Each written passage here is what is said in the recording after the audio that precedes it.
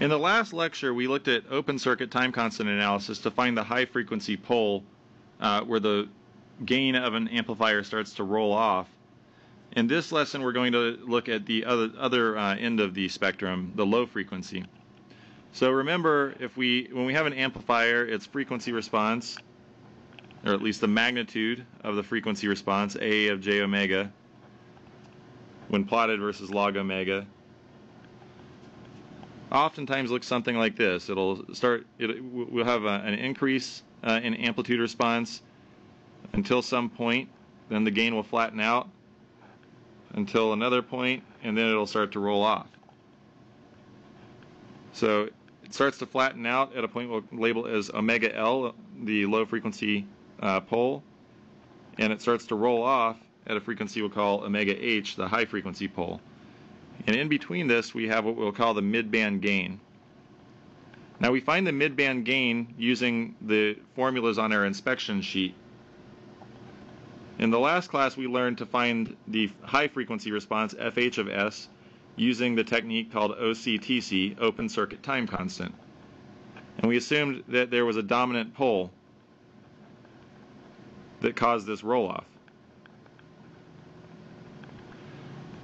In this lesson, we're going to learn how to find the low frequency response, FL of S. It will also involve a dominant pole that causes the gain to flatten out. And we're going to find this using a technique called short circuit time constant, or SCTC as we'll abbreviate it.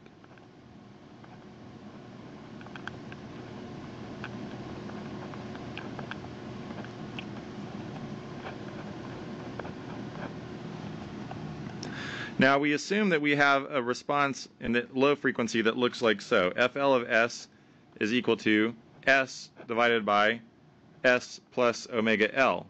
So we have a zero at DC that causes this increase in the amplitude response until we reach the pole at omega L, which causes the flattening of the response.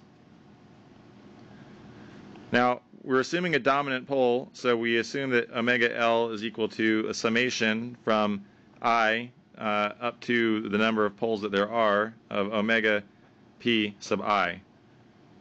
So we assume that there are a bunch of poles, but we're going to sum them all together. This is equivalent to sum from I uh, to uh, N of 1 divided by Ci times Ri, where C sub i's in this case are various large capacitors in the circuit.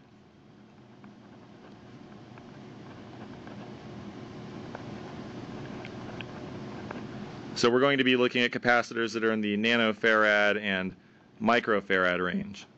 Big capacitors that we use for DC uh, blocking, uh, AC bypasses, etc. Now our R sub I are the driving point resistances, or the resistances seen across the terminals of the capacitor.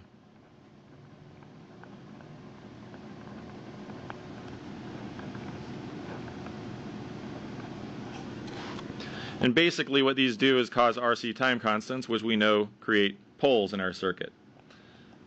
So to find the R sub i's,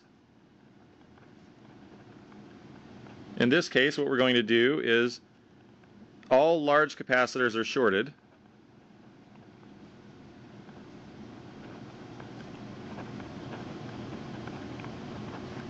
except the one we're analyzing.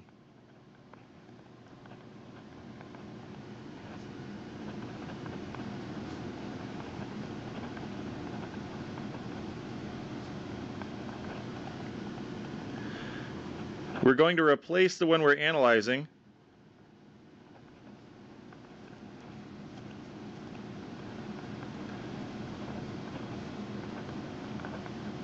with a test voltage source.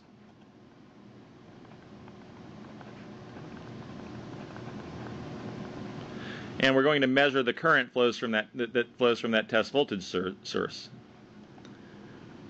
We eliminate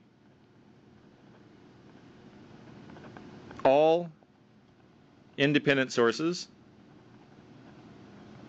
So any voltage source we short circuit, any current source we open circuit.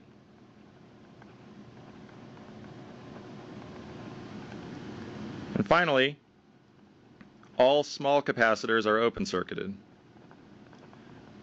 We're analyzing for a low frequency, so small capacitors will have a high impedance at low frequency, so we can treat them like they're an open circuit.